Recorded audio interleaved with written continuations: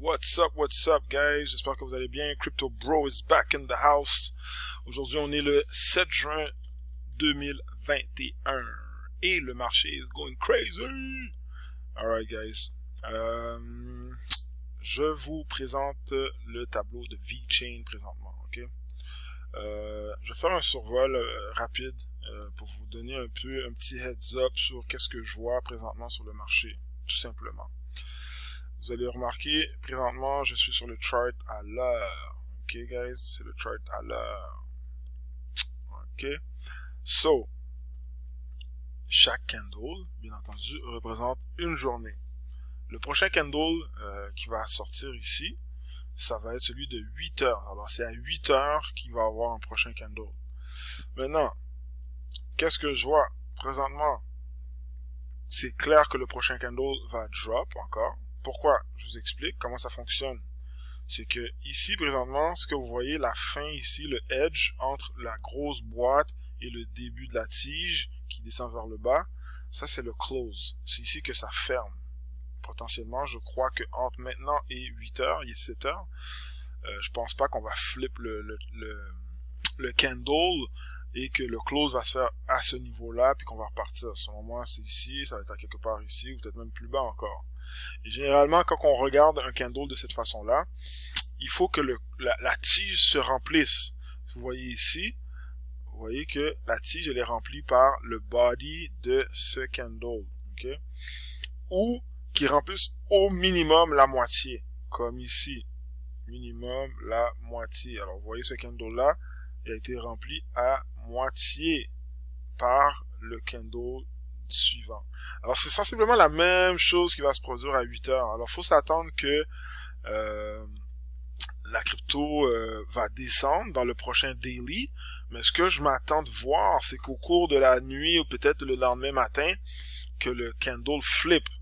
J'espère, parce que sinon, si ce qu'on va voir, c'est que ça va être une descente à d'autres niveaux, mais que c'est pas des niveaux qu'on devrait voir présentement. Parce que essentiellement, ce qu'on veut voir, c'est que la tendance se maintient. Et si on regarde la tendance, ça veut dire que là, on a fait, on a pompe, on a monté ici. Si on regarde, on a un high là, ok?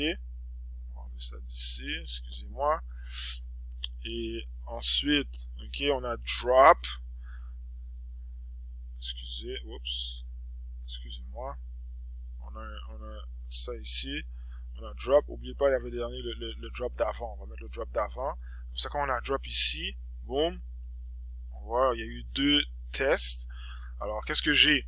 Un high, après le dip, ok, il y a eu un dip, dip, ça a remonté, dip, c'est le, le, quand il y a eu le deuxième dip, c'est plus haut que celui d'avant. Maintenant, on est reparti. On a créé un, premier high. Là, on drop. Le dip a confirmé ici le, le trend et le support. Et c'est plus haut encore. Alors, on continue et on voit la même chose, la même tendance. Encore plus haut. Alors, ce que je remarque, c'est que j'ai des higher high. OK? Et là, maintenant, boum. On dip encore. On vient de créer un nouveau lot. Alors, la tangente, elle est bonne. Le seul hic et le seul problème, c'est qu'il y a une résistance ici. Vous voyez la ligne rose? J'ai mis cette ligne rose-là. Pourquoi? Parce qu'à chaque fois, même dans le daily, là, je parle des, je suis encore daily. Chaque jour, on, bloque, bloque. On reteste, oh, bloque, bloque. On a cross. Vous vous souvenez, j'avais fait euh, une vidéo, j'avais dit, oh, on a cross quelques jours. On devrait être correct. Mais regardez. On a cross, on a close above, la résistance. Mais clairement, c'est le trend ici qui nous a repoussé vers le bas. Puis là, on est revenu tester le support encore. Alors, ce que, je, ce que vous pouvez voir aussi, ce que vous pouvez constater, c'est que mes trends sont parfaits. J'ai rien touché là. C'est depuis la dernière fois, tous mes trends sont pareils. Alors, on joue à l'intérieur de ça ici. OK? Et vous voyez, ça se referme. Plus on y va, plus ça va se refermer. Si je continue, si je prolonge ça ici, vous voyez que je vais le mettre... Euh, attends, ça c'est qui ça m'empêche de voir où ce que je dois aller. Désolé. Et voilà. Ça aussi. On va changer de ça de côté. OK. Alors, juste m'assurer que je suis dessus. Et vous voyez, ça se, ça, ça diminue. Plus on va dans le temps. Maintenant, je vais toucher. Lui, je vais le bouger un peu. Je vais aller le mettre pour qui vienne toucher à ça ici. Parfait. Oups. Un petit instant, désolé.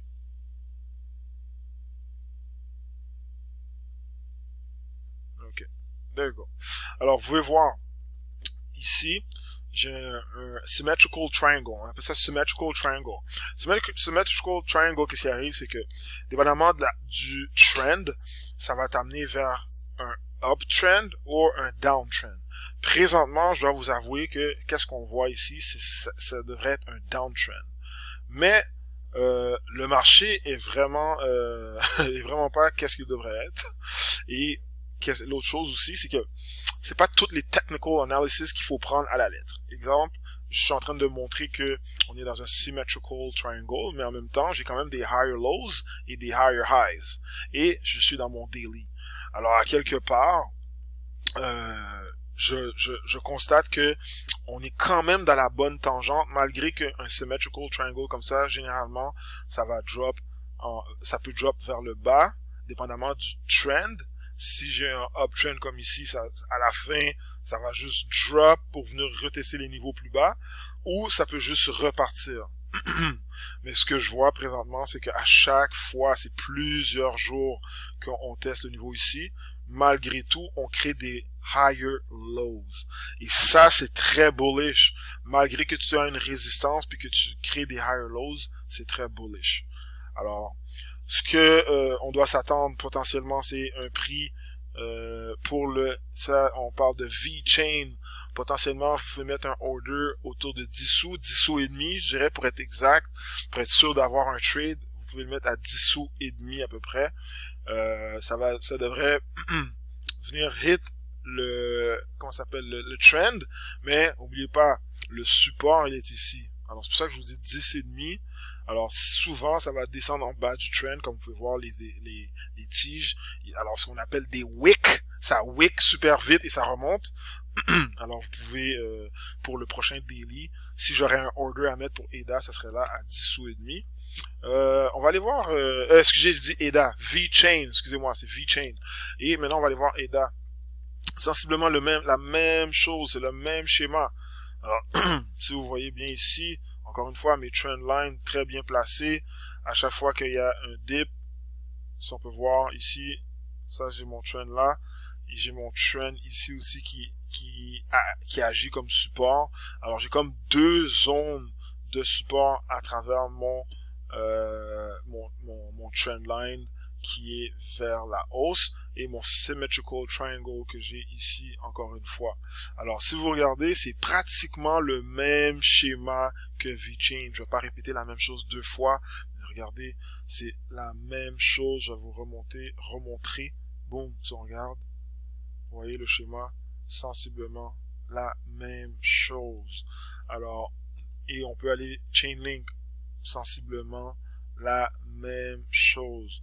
Pourquoi on suit le Bitcoin? Mais présentement, on suit plus le Bitcoin. Si on regarde le Bitcoin, lui, il est plutôt à la baisse. Si on regarde, le trendline est à la baisse. Ce qui veut dire qu'il est encore dans son symmetrical triangle.